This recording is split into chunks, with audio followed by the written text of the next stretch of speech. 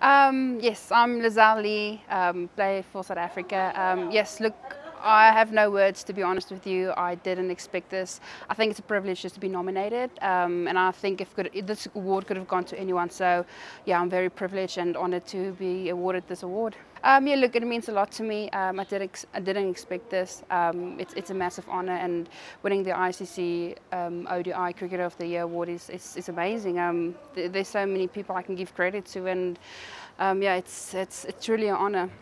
Yeah, look, there's lots of people that played a role for this, um, not only on the field. I mean, my family, it's been my number one supporter, my parents, my, my wife. Um, they've been amazing, and honestly, I have to give credit to our coaching staff and teammates. If it wasn't for them, I honestly wouldn't have been able to even play. So, yeah, credit to all of them. Yeah, innings to look back on. Um, look, that's a tough one. There was a few that I thought stand out for me. Um, maybe not always scoring 100, but the one against Indian, India scoring 100, and then the one against West Indies in West Indies. I think that was pretty tough conditions, and I think I scored 90 something, not out. And yeah, that was that was probably one of the best because I thought it was a very hard, hard fought game.